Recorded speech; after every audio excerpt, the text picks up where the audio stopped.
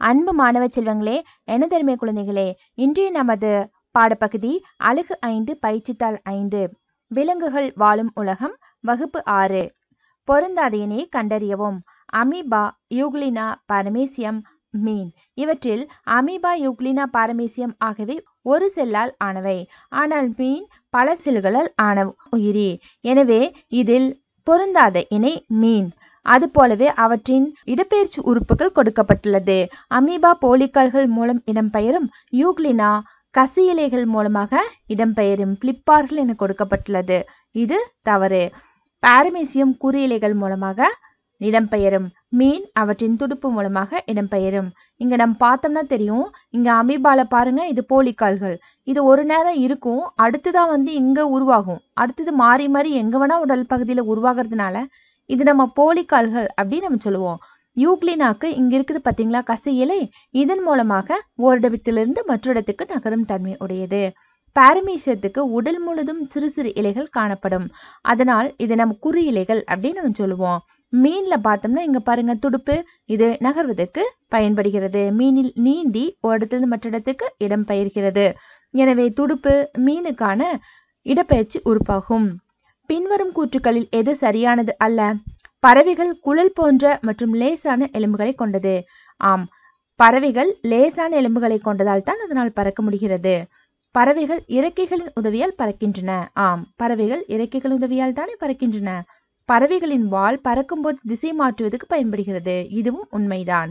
பறவைகள் செவில்கள் மூலமாக சுவாசிக்கின்றன. இந்த மீன்கள் தானே செவில்கள் மூலமாக சுவாசிக்கிறது? பறவைகள் செவில்கள் மூலமாக சுவாசிப்பதில்லை. பறவைகளுக்கும் நுரையீரல் உண்டு. எனவே இந்த பின்வரும் கூற்றுக்களில் எது சரியானது அல்ல என கேட்கப்பட்டுள்ளதால் இது சரியானது அல்ல. கீழே கொடுக்கப்பட்டுள்ள வாக்கியங்களை பார்த்து நான் யார் என கண்டறியவும். நான் சிறியவனாக இருக்கும்போது செவில்கள் மூலமாக சுவாசிக்கின்றேன். நான் பெரியவனானுடன் தோல் மற்றும் நுரையீரல் வழியாக சுவாசிக்கின்றேன். நான் யார்? தவளை. நமக்கு தெரியும். தவளையின் இளமுயிரி நீரில் தானே இருக்கும். இப்ப நீரில் இருக்கும் பொழுது செவில்கள் மூலமாக தானே சுவாசிக்க முடியும்? அது கொஞ்சம் தவளையின் இளம் உயிரி வளர்ந்தவுடன் அதை நுரையல் வழியாக சுவாசிக்கிறது. இதற்கு விடை தவளை. நான் ஊர்வன இனத்தை சார்ந்தவன். நான் குளிர்காலம் முழுவதும் தூங்குகிறேன். இதை குளிர்கால உறக்கம் என்கிறார்கள். நான் யார்? ஆமை. ஆமை. நமக்கு இந்த விடை தெரியும். ஏற்கனவே. நான் என் உடலினை பாதுகாப்பாக ஓட்டினில் மறைத்து வைத்துள்ளேன். நான் கோடை மற்றும் வறண்ட காலத்தை ஆழ்ந்த தூக்கத்தில் கழிக்கிறேன். இந்நிகழ்வை கோடைக்கால உறக்கம் என அழைப்பார்கள். ஆமைக்கு குளிர்கால உறக்கம் நம்ம என்று கூறுகிறோம். நத்தைக்கு கோடைக்கால உறக்கம் என்று நாம் கூறுகிறோம். அனைத்து விலங்குகளும் தண்ணீர் குடிக்கின்றன. ஆனால் கங்காரு எலி மட்டும் தண்ணீர் குடிப்பதில்லை. அவ்வாறு தண்ணீர் குடிக்காமல் கங்காரு எலியால் எவ்வாறு உயிர் வாழ முடிகிறது? சிந்தித்து உன் பதிலை எழுதவும். கங்காரு எலி அது சாப்பிடும் பொழுது விதைகளிலிருந்து நீரை பெறுகிறது. கங்காரி எலி எப்பொழுதும் நீர் அருந்துவது கிடையாது. அது தான் உண்ணும்போது அதற்கு கிடைக்கும் விதைகளிலிருந்து நீரை பெறுகிறது. கொடுக்கப்பட்ட விலங்குகளிலிருந்து குளிர் இரத்த பிராணிகளை மட்டும் தனியே பிரித்து எழுதவும். தவளை மீன் அமீபா யூக்ளினா பாரமீசியம் பறவை பள்ளி புலி. இப்பொழுது நாம் குளிர் இரத்த பிராணிகள் என்றால் என்பது பற்றி பார்க்கலாம். சுற்றுப்புறத்தின் வெப்பநிலையை தான் தனக்குள் உள்வாங்கிக் கொண்டு அதற்கேற்ப தன்னுடைய வெப்பநிலையை மாற்றியமைத்துக் கொள்ளும் பிராணிகளைத்தான் நாம் குளிரத்த பிராணிகள் என்று அழைக்கிறோம். சுற்றுப்புறம் வெப்பமாக இருந்தால் இவைகளின் உடலும் வெப்பமாக இருக்கும். குளிராக இருந்தால் குளிராகவும் இருக்கும். எடுத்துக்காட்டிற்கு தவளை மீன் பள்ளி போன்றவை. இவற்றின் விடையை நீங்கள் சரியாக எழுதி கொள்ளலாம். அடுத்ததாக பின் வருவனவற்றை கணிக்கவும். பறவைகள் பறக்கும்போது எவ்வாறு திசையை மாற்றுகின்றன? இப்பொழுதுதான் பார்த்தோம் பறவைகள் பறக்கும் பொழுது திசையை மாற்றுவதற்கு அவற்றின் வால் பயன்படுகிறது என்று. இல்லையா? பறவையின் வால் அது பறக்கும் திசையை கட்டுப்படுத்த உதவுகிறது. எந்த திசையில் வேண்டுமானாலும் பறப்பதற்கு அது தன் வாளை அசைத்து மாற்றிக்கொள்ளும். ஒரு மீனுக்கு வலுவழுப்பு தன்மையும் அல்லது செதில்கள் மூடிய தோலும் இல்லாவிட்டால் என்ன நடக்கும் என உன்னால் கூற முடியுமா? மீன்களின் உடல் முழுவதும் வலுவழுப்பான சிதில்கள் காணப்படுகின்றன. இவை மீனின் உடலை பாதுகாக்கின்றன. எடுத்துக்காட்டிற்கு மீனுக்கு வலுவழுப்புத்தன்மை அல்லது செதில்கள் மூடிய தோலும் இல்லாவிட்டால் கூறிய பொருட்களால் வேறு உயிரினங்களால் தாக்கப்பட்டு உடல் உள்ளுறுப்பு பாதிப்பிற்கு உள்ளாகும். மீன்களில் உடல் முழுதும் வளவளப்பான செதில்கள் காணப்படுகின்றன. இவை மீனின் உடலை பாதுகாக்கிறது. அனைத்து உயிரினங்களுக்கும் தன்னை பாதுகாத்து கொள்ள தன்னுடைய மேற்புறத்தோல் உதவுகிறது.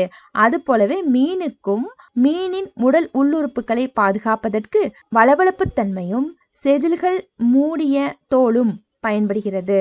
மீனுக்கு வளவளப்புத்தன்மை அல்லது செதில்கள் மூடிய தோலும் இல்லாவிட்டால் கூரிய பொருட்களால் அல்லது வேறு உயிரினங்களால் தாக்கப்பட்டு உடல் உள் உறுப்புகள் பாதிப்பிற்கு உள்ளாகும். உன்னால் மிருதுவான மற்றும் சூடான மணலில் எளிதாக நடக்க முடியுமா? ஒட்டகம் எவ்வாறு மிருதுவான மற்றும் சூடான மணலில் நடக்கிறது? சிந்தித்து பதிலளிக்கவும். நம்மால் மிருதுவான மற்றும் சூடான மணலில் எளிதாக நடக்க முடியாது. ஒட்டகத்தின் பாதங்களை நாம் இப்பொழுது கவனிக்கலாம்.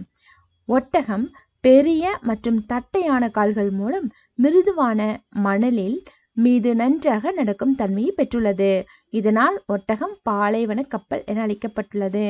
அதனுடைய கால்கள் நீளமாக உள்ளது. எனவே ஆழமான மணலில் கூட காலை புதைத்துவிட்டால் மீண்டும் காலை வெளியே எடுத்து எளிதாக நடக்கக்கூடிய தகவமைப்பை ஒட்டகம் பெற்றுள்ளது. இடப்பெயர்ச்சியின் அடிப்படையில் பாரமேசியம் மற்றும் யூக்லினாவை எவ்வாறு வகைப்படுத்துவாய்? பாரமேசியத்துக்கு உடல் முழுவதும் சிறு சிறு சிறு குறு இலைகள் காணப்படுகின்றன.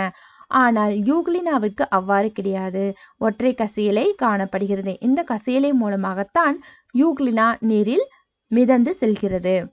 ஒரு இடத்திலிருந்து மற்றொரு நகர்கிறது. இடப்பெயர்ச்சி உறுப்பாக கசியலையை யூக்லினா பயன்படுத்துகிறது. பாரமேசியம். பாரமேசியம் என்பது நீரில் வாழும் ஒரு செல் உயிரினம் ஆகும். இது தன்னுடைய குறு இலைகள் மூலம் இடப்பெயர்ச்சி செய்கிறது.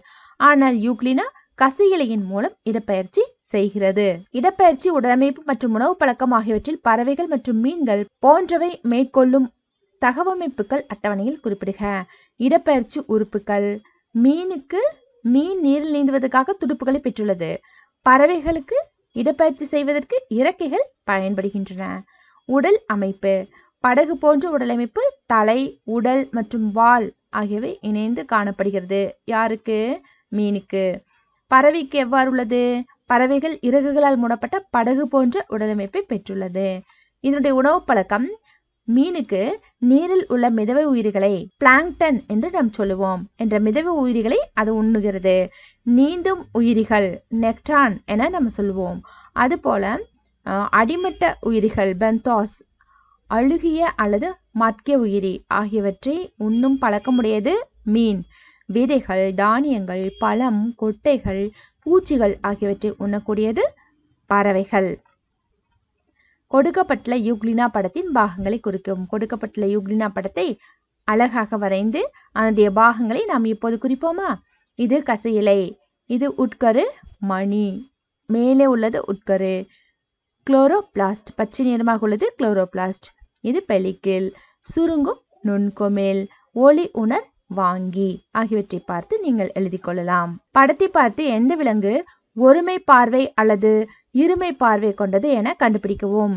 இருமை பார்வை என்றால் இரு விழிப்பார்வை இருமை பார்வை என்றால் இருவிழி பார்வை. கழுகு இருமை பார்வை. ஒரே சமயத்தில் இரண்டு கண்கள் மூலமும் இருவேறு பொருட்களை பறவைகளால் பார்க்க முடியும். ஆனால் குரங்கு ஒருமை பார்வையுடையது. நம் இரண்டு கண்களும் ஒரே பொருட்களின் மீது மட்டுமே தன்னுடைய பார்வையை குவிக்கும் தன்மை உடையது. ஆனால் கழுகு அவ்வாறு அல்ல. ஒரு புறம் உள்ள கண்ணின் மூலமாக வேறொரு பொருளையும் மற்றொரு புறம் உள்ள கண்ணின் மூலமாக வேறொரு பொருளையும் ஒரே சமயத்தில் இரவேறு இரண்டு பொருட்களை காணக்கூடிய தன்மை உடையதால் கழுகு இருவிழி பார்வை உடையது. குரங்கு ஒருமை பார்வை உடையது.